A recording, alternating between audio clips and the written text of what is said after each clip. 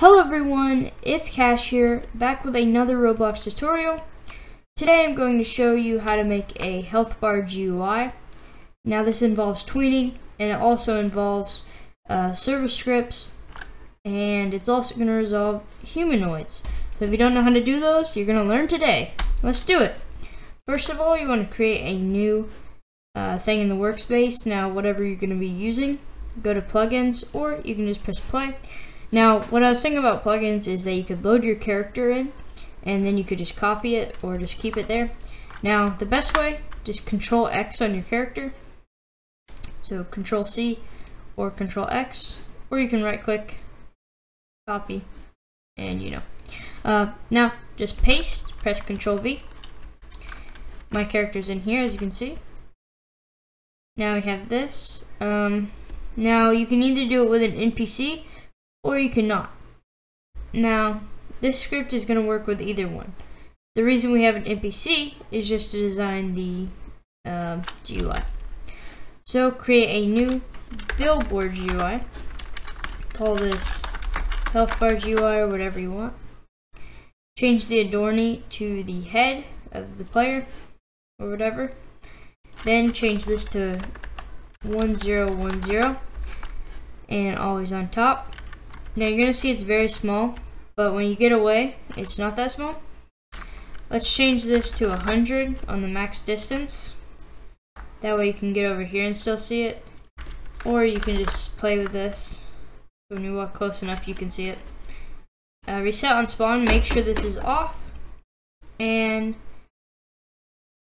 yeah, there we go. Because it's going to reset on spawn anyways, by the way. So that's why we have that off.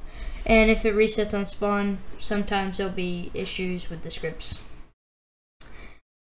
Alrighty. So, now what we are going to do. Uh, change Zindex behavior to global. And now, we don't want it to just be one stud. We want to go to the stud's offset and change it to 1.5 so it's right above the head. Then go to the size and change this to about 5. And that's pretty big. Just go ahead now and create frame. Oh, yep, a frame. Call this background. Change this to whatever the damage color you want it to be. And then change it to 1010 in the scale. And if you don't know what scale is, this is the just entire thing. Like this is everything divided by whatever. Now make sure the anchor point is the same anchor point because it's not going to fit. Alright? And the anchor point is 0. Point, or 0, 0 by automatic. And that's where you need it to be. Or if you still want to change it and you just want to be like that, you can just go to the position in 0 0.5, 0 0.5, but that's just extra time and nobody wants to do that. Uh, change the index to 1, make sure it's 1. Now, this index is the order that it goes in, uh, and that's why we changed this to global. And also, sorry if I'm going too fast, everyone, because uh, I know a bunch of people can't keep up, so if you need me to go slower, just tell me, and in each video I'll go slower next time. But now you just want to copy this and paste it. Duplicate, right? Go to Zindex and change that to 2. And then you want to change the color to uh, your health bar color. So now you want to name this to health bar or health or whatever you want to name it. Just make sure it's not background. Then add a text label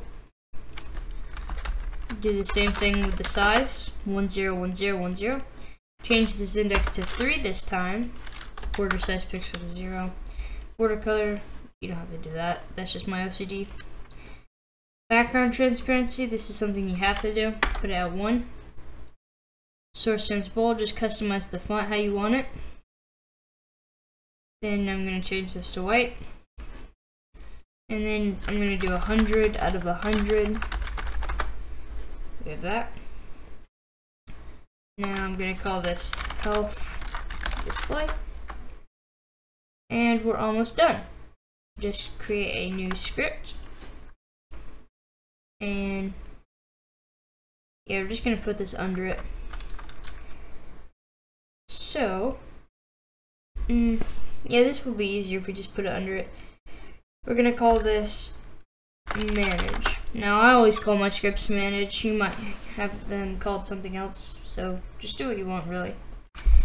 Go here, and we're going to define a couple variables.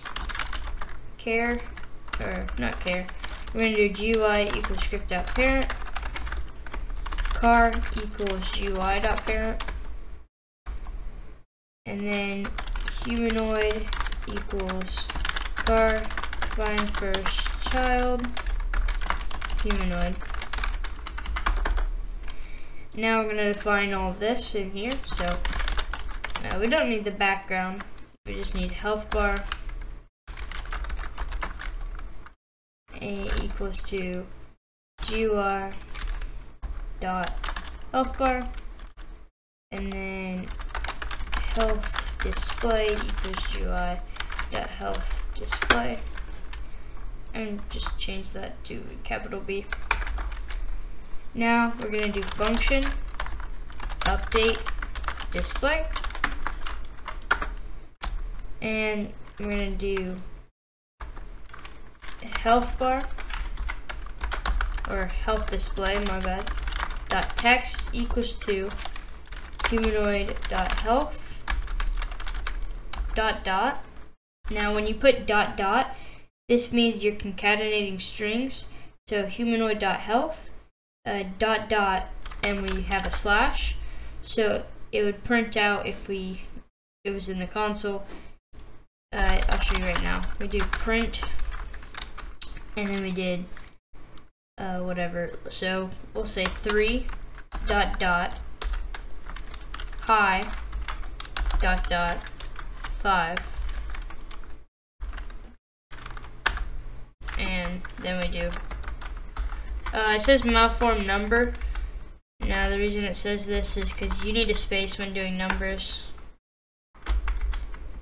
and make sure you have a end. It says three, high, five. Cool. So that's what concatenating strings does, if you didn't know. Alright, now we're just gonna do humanoid dot max health. So humanoid dot health dot dot this. Make sure you add another period period or dot dot. You can add spaces just to be more organized. Now we're gonna do health bar then we're gonna do tween size.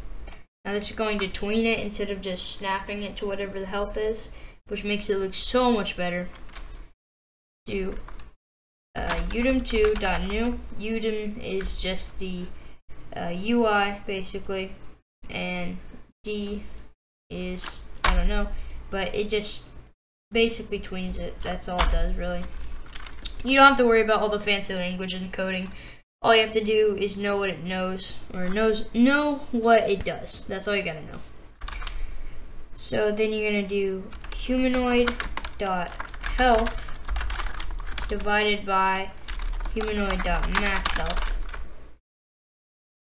dot dot or not dot dot. We're not doing that. We're gonna do comma zero one zero. So this gets the math for it. So we're dividing the humanoid health by the max health. So the way we do that, this max health is equal to 100 in the humanoid, and the health of the humanoid would be like 90 or something, divided by that equals to 0.9. So it just fixes up the UI for us. And uh, yeah, we have the text and everything. Now, if this if they were regenerating, it would be something like uh, it wouldn't be rounded. So we could do math dot floor humanoid dot health, and then we do update display, and then humanoid dot health changed connect update display. Alright, so now we have this all done. We can close out of this and expect zero errors. Now, oh wait, one last thing. We're not done just yet, sadly. We're gonna do GUI dot adornee equals to car find first child head. And now we're done. You can press Control X now and put this into your starter character scripts. And then delete this guy if you want.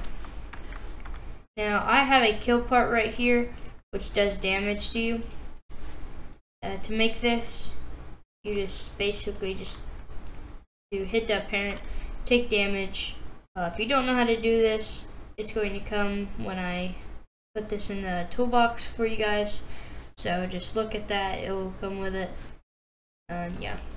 But if you have a sword or something that you can stab yourself with, go ahead. Uh, you know, whatever you want to do. So now we're in here. As you can see, we have the health. Health bar, very nice looking. We hit this, and we have that. Math.floor just rounds it, so now it's not like the weird number that we would see. And as you can see, we regenerate it. We just keep hitting it. And we hurt ourselves. And we love it. I'm kidding. But as you can see, the health is, like, should be 63, whatever. But now it's just 65 because we did math.floor. Uh, math is very useful, but it sucks to learn. I hate learning math. So boring. Um, but you know, and then we could die too if we wanted to, which we shouldn't really, because nobody wants to die. Uh, but we died anyways, so yeah, cool. Um, after you die, you respawn with it. Really cool. I'm going to literally just copy this, save to Roblox, and I already published this because uh, I was trying to make a video, the recording didn't save, so I just made you guys it again. And if you want this kill part 2, I'm going to link this in a Pastebin down below. And then just put it in a part. Uh, but yeah, have a good day guys, see you later.